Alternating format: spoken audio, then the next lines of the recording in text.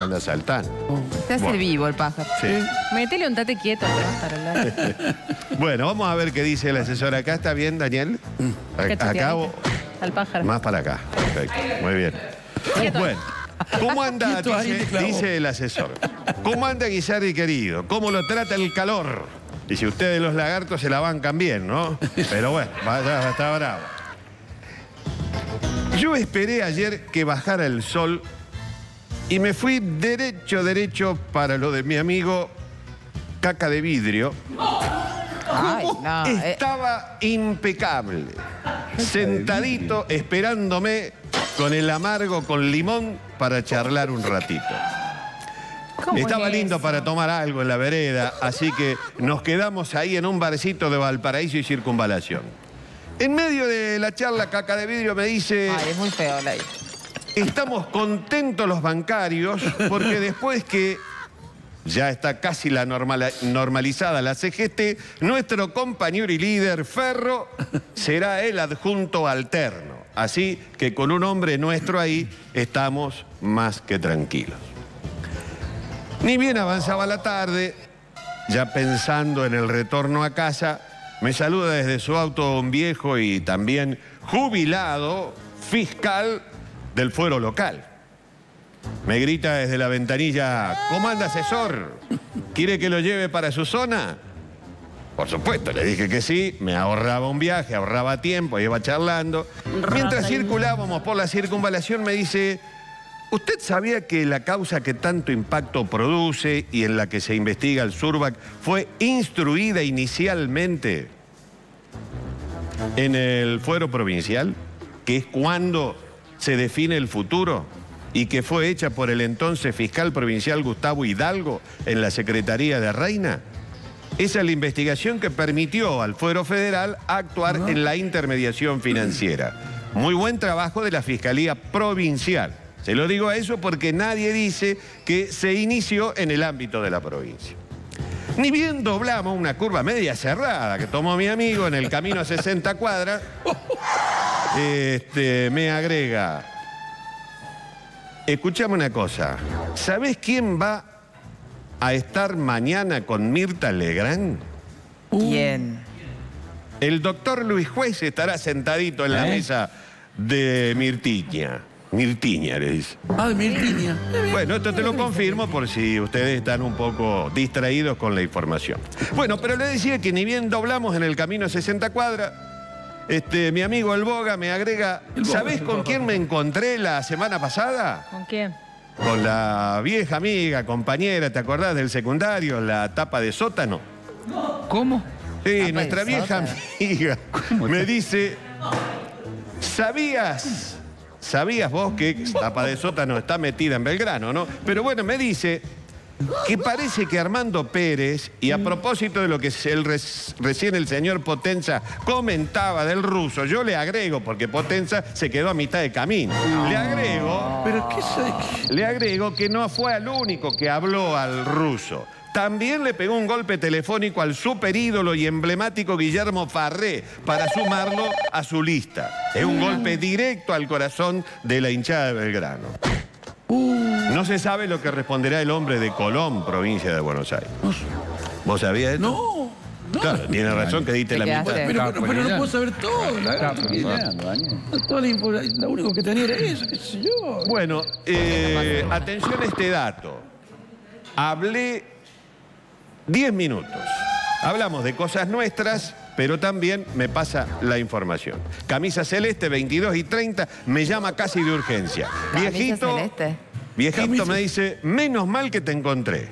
Según me acaban de comentar los muchachos del gremio de la UTA, Parece que en ERSA y AUCOR habrían incorporado más de 100 monotributistas.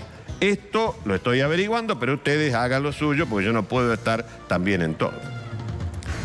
¿Vio que ayer le entregaron la distinción al periodista Ramón Gómez? Estuve sentadito en el recinto acompañando al legendario periodista. Muy bien. Quiero decirle que lo mencionó a usted Guisardi, ¿eh? Así que salúdelo, estaba muy contento, pero no metió la mano en el bolsillo para un café ni a. Mire la foto, ahí está, bueno, muy bien. Muy bien. Este es Ramón Gómez, este es Ramón Gómez, acá está, mirá. Está. Mirá. Muy bien. Ahí está. Muy bien. Ahí está. Mira, El de Ramón. los dos Mira, micrófonos. Ramoncito. Bueno, fe- fel- felicitaciones. Así que lo nombro, mira. Qué pintón que tiene, No, ¿no? muy bien, Ramón. bueno. Bueno, escuche, eh, ¿vio que le anticipé que algo había pasado con Kudelka? Que ni una camiseta le habían entregado. ¿Vio que había algún problema? Yo se lo dije, se lo anticipé, pero ahí nadie me cree porque parece ser que son todos hinchas de talleres y esconden debajo de la alfombra. Uh. a ustedes Sí, los a trata ustedes a todos hinchas Sí. de talleres. No, no. Escuche, con la explicación de Fasi quedó clarito el ánimo de descontento y de desconocerlo. Escuche lo que dijo.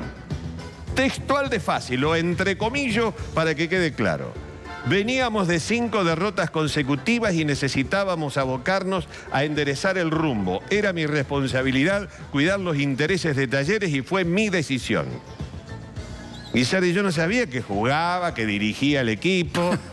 No me diga que se iban a desconcentrar los muchachos por entregar una plaqueta al hombre que les dio dos ascensos y los dejó en la puerta de la Libertadores. Hay bronca, está claro, entre los dos. Hay bronca entre los dos, se lo vengo diciendo. Su periodista no cuenta lo que pasó entre ellos. Ay, Daniel. Pero no sé, ¿cómo voy a saber lo que pasa entre dos tipos que. Señor, esas son intimidades, la verdad. Vuelvo al capítulo que lo vincula a usted, Guisardi, Oh, con un cantante cuartetero. viene. Epa. Bueno, está bien. Ayer arrancó el desafío entre Pupito, fiel amigo de Ulises, y usted. Pero arrancó para atrás Pupito. No fue al entrenamiento. No, bueno, listo. Lo vieron por EPEC. Mi amiga, a la que le decimos nosotros plan primer paso. me- una chica le han puesto plan primer paso. Qué horror. ¿Por qué? Me dijo que lo vio lindo, bonito, churro, pero según sus cálculos le faltan un par de meses de entrenamiento. Bueno, no sé, hoy volverá, a lo mejor habrá vuelto, habrá vuelto Pupito. En un día no se va a poner Claro. físicamente bien. ¿Se acuerda que le dije que Betty, que Betty Olave tenía para dos días de recuperación? Bueno, fueron dos días. Ayer ya le dieron el alta, se lo dije yo. Dos días y fueron dos días. Así de simple, ya está en la casa desde ayer a la tarde. Esto obviamente lo han dicho los medios, pero nadie dijo como se lo anticipé yo. Primero, que estaba internada y segundo, que en dos días salía. Ayer se entregaron los diplomas para las nuevas autoridades municipales. Otro amigo que tengo que se dedica a la moda, mi querido gran amigo, también compañero del secundario, Pompa Fúnebre, especialista en moda, llamó mucho la atención el llamativo y elegante look de la esposa de Yarlora. Esto por un lado, una mujer muy hermosa. Ah, acá está el... Ah, muy bien. Muy elegante, muy elegante. Bien. Esto por un lado, me dice. Y por el otro llamó la atención la corbata negra de Quinteros, marca El Hombre. Regalo de una legisladora amiga de la hora concejal con diploma.